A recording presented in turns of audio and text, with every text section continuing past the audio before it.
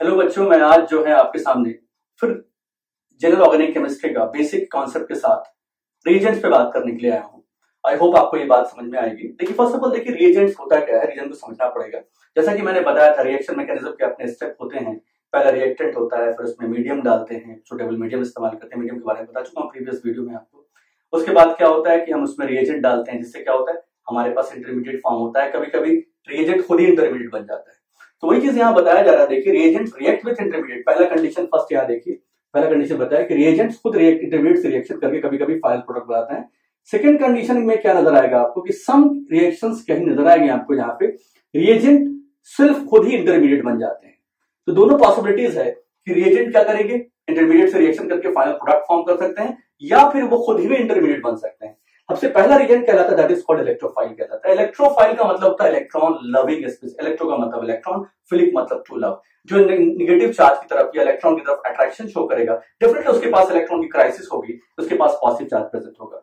इसे E plus से represent करते हैं electron loving species is called electrophile सबसे पहले देखते हैं पॉजिटिवली चार्ज क्या होते हैं। अगर पॉजिटिवली चार्ज कोई स्पीसीज है, जिसके पास incomplete octet is very important मतलब less than less than eight electrons अगर नज़र आए किसी सेंट्रेटम में, आप चेक कर लीजिए सब में आपको ये नज़र आएगा, इसके पास आठ से कम इलेक्ट्रॉन प्रेजेंट हाइड्रोजन के पास देखिए वन इलेक्ट्रॉन था, वो भी चला गया।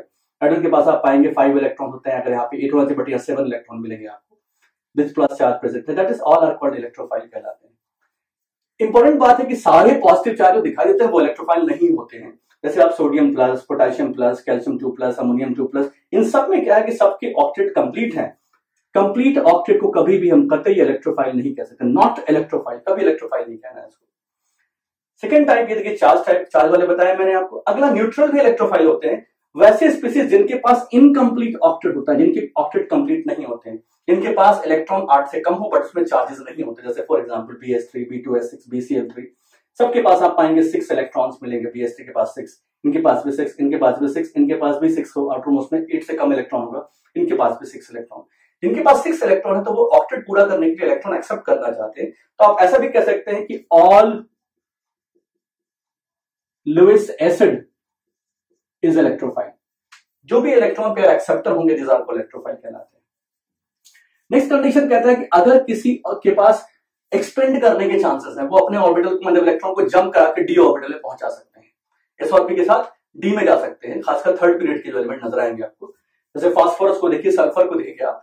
ये सब एटम क्या है कि ये डी ऑर्बिटल का इस्तेमाल कर सकते हैं। तो वैसे कंडीशन में जहाँ एक्सपेंशन हो सकता है, वो इलेक्ट्रॉन अपने डी ऑर्बिटल में ले सकते हैं। वैसे कंडीशन में भी वो आपको इलेक्ट्रोफाइल कहलाएँगे। ये थे बेसिकली आपको इलेक्ट्रोफाइल के एग्ज़ाम्पल और उसकी पहचान करनी ज़रूरी है। इस तरह से आप इलेक्ट्रोफाइल की पहचान these are the reason first reason that is called electrophile कहलाते हैं। अगर आप सेकेंड टाइप के रिएजेंट्स की बात करेंगे सेकंड वन इसका न्यूक्लियोफाइल न्यूक्लियो का मतलब था न्यूक्लियस से निकला है न्यूक्लियस लविंग स्पेसिस हम सब जानते हैं कि एटम के न्यूक्लियस पे प्लस चार्ज होता है, उसका इंटरेक्शन हमेशा नेगेटिव चार्ज की तरफ़ होगा। पॉजिटिव पे अट्रैक्शन शो करेगा मतलब सेल्फ पे उस पर नेगेटिव चार्ज या इलेक्ट्रॉन डेंसिटी उसके पास ज़्यादा होगी। All Lewis bases are called nucleophile because हम जानते हैं कि Lewis bases are very good electron pair donor होते हैं। जितने भी डेटिव बॉन्ड बना सकते हैं कोऑर्डिनेट कोवलेंट बॉन्ड बना सकते हैं इलेक्ट्रॉन पेयर डोनेट कर सकते हैं। That is always in the category of nucleophile में आएँगे। पहला फ़र्स्ट टाइप में अगर हम देखें तो पहले लुइस एसिड हो गया। Second part is negatively charge space H minus C S three minus NO two minus NO three minus F minus C L minus B R minus I minus NS two minus इसके अलावा जहाँ भी किसी atom के पास negative charge present हो electron pair होना चाहिए डोनेट करने के लिए। ऐसे कंडीशन में ये सब न्यूक्लियोफाइल कहलाएँगे। तो ये नेगेटिव चार्ज स्पीसीज है। थर्ड थर्ड टाइप में that is called neutral nucleophile यही लुइस बेस का काम भी करते हैं। न्यूट्रल का मतलब उनके ऊपर कोई चार्ज नहीं होता बट ये ख्याल रखिए, जो एटम इलेक्ट्रॉन पेयर डोनर होगा, उसके पास ऑक्टेट कंप्लीट हो जाता है। दूसरी बात बड़ी इंपॉर्टेंट क्या है, याद रखिएगा, कभी भी कोई एटम एक वक्त में सिर्फ़ एक ही इलेक्ट्रॉन पेयर डोनेट कर सकता है एक से ज़्यादा डोनेट नहीं कर सकता। जैसे आप यहाँ देखिए एच अपना एक इलेक्ट्रॉन पेयर डोनेट कर सकता है ईथर अपना इलेक्ट्रॉन पेयर डोनेट कर सकता है।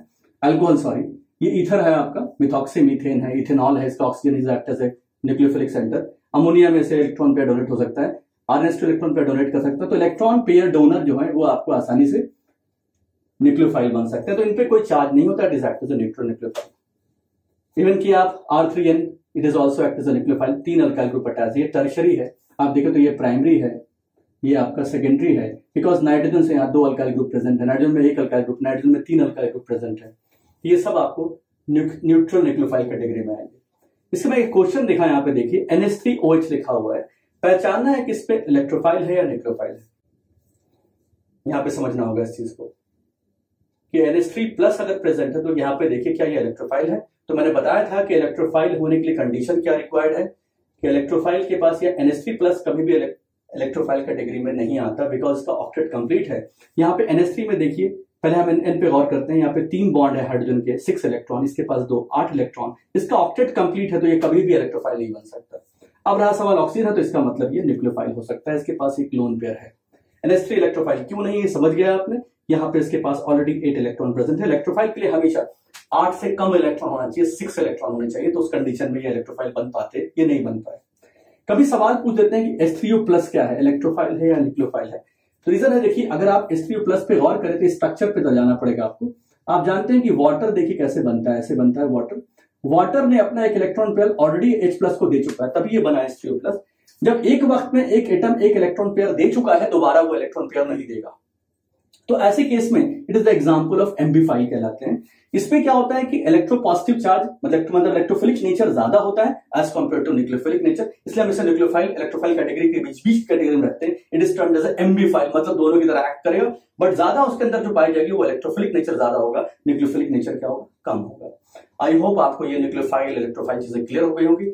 आगे इस तरह से मैं धीरे धीरे ग्रेजुअली थोड़ा थोड़ा टॉपिक में लेके आगे बढ़ता बढ़ता जा रहा हूँ, ताकि आपको आसानी से बेसिक्स बातें आप पहले समझें। उसके बाद हम थोड़ा सा डिफरेंट डिफरेंट कॉन्सेप्ट पे आएँगे केमिस्ट्री के बहुत डिटेल में जानने की कोशिश करेंगे। Thank you